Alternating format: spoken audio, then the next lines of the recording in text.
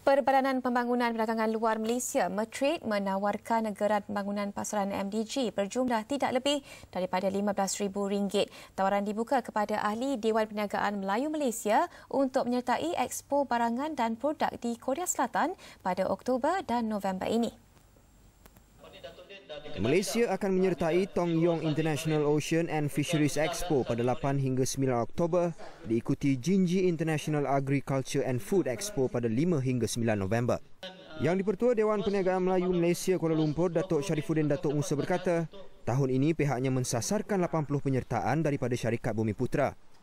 Menurutnya setakat ini, 40 peserta telah pun mendaftar. Alhamdulillah untuk tahun ini, uh, kerajaan dari Korea membenar kita buka pavilion.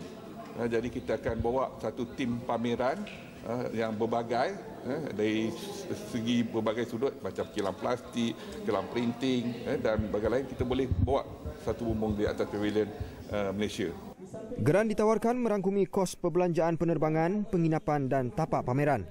Justru Syarifuddin menggesa syarikat Bumi Putra untuk merebut peluang ini untuk mempromosi produk seterusnya mengembangkan perniagaan mereka di peringkat global.